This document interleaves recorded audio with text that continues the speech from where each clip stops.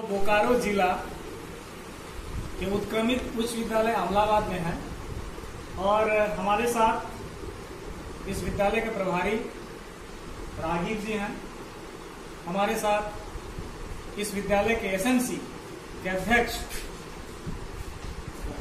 चंद्रिका जी हैं और ये विद्यालय बोकारो ज़िले का एक बहुत ही उत्कृष्ट और माना हुआ विद्यालय है।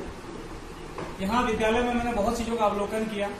बहुत सारी चीज़ों को देखकर हमने, हम स्वयं प्रेरित हुए। तो आज हमारे बीच अध्यक्ष जी भी हैं और प्रभारी महोदय भी हैं। जानना चाहेंगे, एक अध्यक्ष के रूप में आपने ऐसा क्या किया कि विद्यालय बोकारो ज़िले में अपना स्थान बना पाया? इस विद्यालय में सर हम सेवा की भावना से जुड़े और मेरा भी ख्वाहिश था कि जब हम अध्यक्ष बनेंगे स्कूल में तो जो प्राइवेट स्कूल होता है, जो हम देखे अधिकांश तो मेरे अंदर भी भावना जगा कि हम भी अपने स्कूल को उसी लेवल पर लेके जाएँ। और इसके लिए राजीव सर हमेशा सहयोग किए मोटिवेट होते रहता था। बात राजीव सर उठाते थे और हमको सूचना देते, चंद्रिका जी, ये काम करना अच्छा लगेगा? और हमेशा हाँ में ही जवाब दिए। तो जो जो मेरे स्कूल के लिए अच्छा होगा, उसको करने के लिए हम हमेशा तत्पर तैयार हैं। बरसात के समय में बच्चे लोग जब खाना खाने के लिए बैठता था तो ज़मीन में खाली रखा हुआ और बारिश नीचे से पार हो रहा है, बच्चा भूल जाता था खाना खाने के समय। सर भी देखे हम लोग भी देखते थे। सर का भावना हुआ कि अगर यहाँ डाइनिंग टेबल बन जाए कोई बच्चा का माइंड नहीं भूलेगा। हम भी तय कर लिए कि सर, बनने से तो अच्छा रहेगा, लेकिन पैसा कहाँ से आएगा? क्या सर? सर बोले, इसका भी उपाय होगा। पैसा का व्यवस्था होगा और हम लोगों ने डाइनिंग टेबल तो बहुत बहुत धन्यवाद आपका। आज के डेट में हम लोग किसी भी विद्यालय में जाते हैं, किसी भी, कोई भी जिला हो, कोई भी विद्यालय तो ये कहते हैं कि एसएमसी की बैठक में अध्यक्ष बहुत मुश्किल से आते हैं, बुलाना पड़ता है, सदस्य भी नहीं आना चाहते हैं, लेकिन आपने विद्यालय के सहयोग से अपने सेल्फ मोटिवेट मोटिवेट होकर आपने जो काम किया, ये बिल्कुल ही सराहनीय है। और आपकी ये बात दूर दूर तक पहुंचनी चाहिए। सभी अध्यक्षों को आपसे प्रेरणा लेने की ज़रूरत है कि वो भी आप जैसे बने और इस तरह से इस अच्छे कामों को अंजाम दें। हमारे बीच विद्यालय के प्रभारी राजीव जी भी हैं, वो हमारे अच्छे मित्र भी हैं। और मेरा सौभाग्य है कि आज मैं बोकारो जिला आया हूँ तो इनसे मिला इनके। और छुट्टी के दिन में भी ये अपने विद्यालय को खोलकर हमारी प्रतीक्षा कर रहे थे। और अमूमन कभी किससे मिलना होता है तो शिक्षा की प्रतीक्षा करते हैं, लेकिन यहाँ इनकी पूरी टीम है, एसएमसी की टीम है, अध्यक्ष है, पूर्व अध्यक्ष भी है।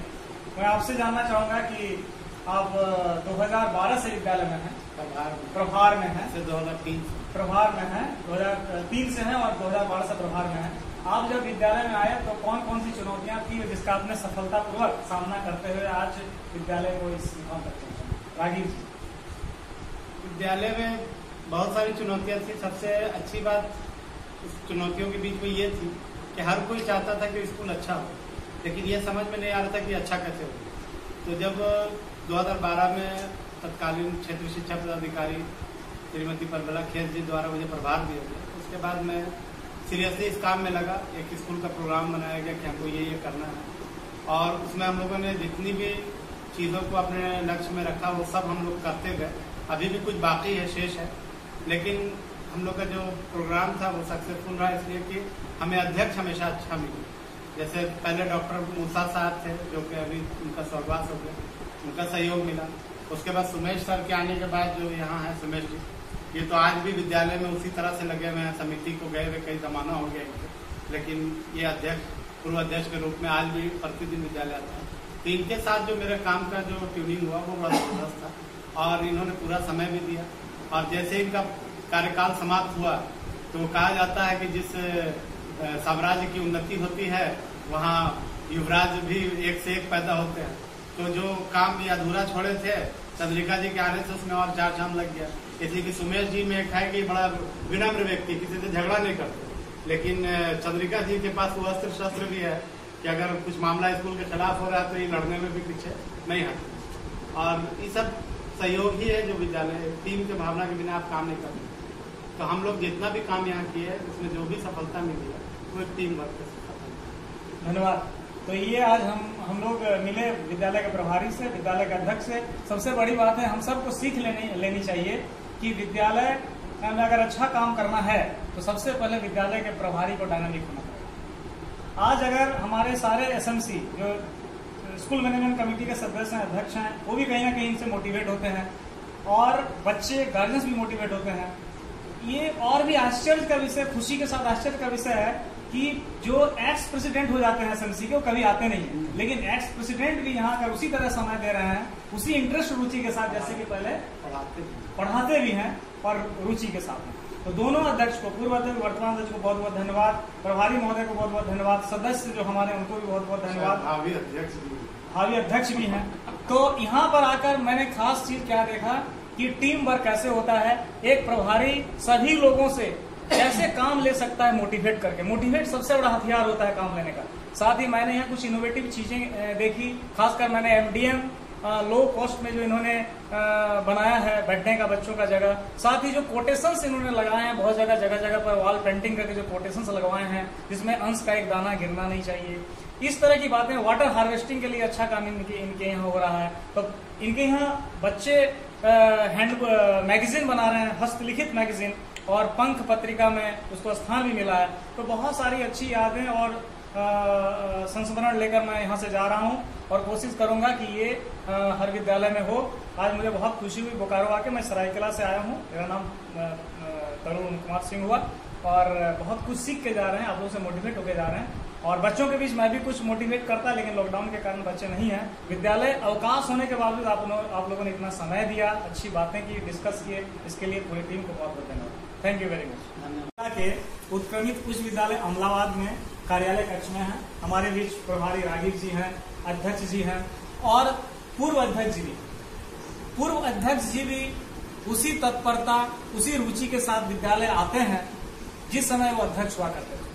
और सबसे खासियत बड़ी इनकी ये है कि विद्यालय सिर्फ़ आते ही नहीं है, बल्कि यहाँ के जो स्टाफ की कमी के कारण अगर कोई वर्ग बाधित है तो वहाँ वहाँ जाके कक्षा भी लेते हैं। और सबसे बड़ी बात यह है कि किसी भी कक्षा में इनको भेज दिया जाए तो उस कक्षा को बहुत ही सुरुचिपूर्ण ढंग से बच्चों के सामने वो प्रस्तुतिकरण अपना देते हैं। तो मैं सुमेश जी से जानना चाहता हूँ कि बहुत सारे हमारे अध्यक्ष तो हैं, जो कि अध्यक्ष जब रहते हैं तो भी ठीक से नहीं आते हैं। लेकिन आप जब अध्यक्ष थे, उस समय तो आते ही थे और मैंने सुना आपके बारे में, आपकी तारीफ़ सुनी। और अध्यक्ष अभी नहीं है, फिर भी आप आते हैं और कक्षा भी लेते हैं। ये प्रेरणा आपको कहाँ से मिली? हम जहाँ तक समझते हैं कि जो एक्स्ट्रा टाइम हमको घर से मिलता है अदर जगह टाइम देने से अच्छा है अपने स्कूल में टाइम देना। ये हमारा लिए भी अच्छा है, गाँव के लिए भी अच्छा है स्कूल के भी लिए अच्छा है बच्चे के लिए तो बहुत अच्छा है। और स्कूल को आगे बढ़ाने के लिए हमारा कोई योगदान नहीं है, सिर्फ़ हौसला है।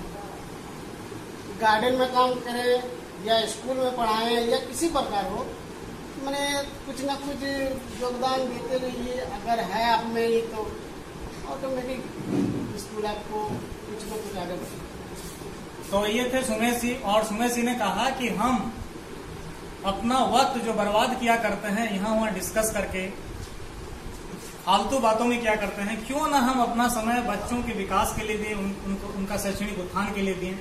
अगर गार्जियंस इस तरह के हो गए, अगर हमारे अध्यक्ष, हमारे समिति के सदस्य इस तरह के हुए तो हम कभी भी झारखंड को शैक्षणिक उत्थान में रोक नहीं सकते हैं। सिर्फ़ अगर शिक्षकों को प्रेशर दिया जाए कि आप काम करें तो इससे हम उस फलाफल की प्राप्ति नहीं कर सकते हैं। सुमेश जी जैसे लोग, यहाँ के समिति के जैसे लोग, यहाँ के प्रभारी का मोटिवेशन अगर हो तो निश्चित रूप से झारखंड का हर स्कूल अच्छा करेगा। मैं इनके इस साक्षात्कार के माध्यम से तमाम सभी अध्यक्षों से अनुरोध करना चाहूँगा कि आप भी अपना वक्त को बर्बाद ना करते हुए अपने समय का सदुपयोग करें।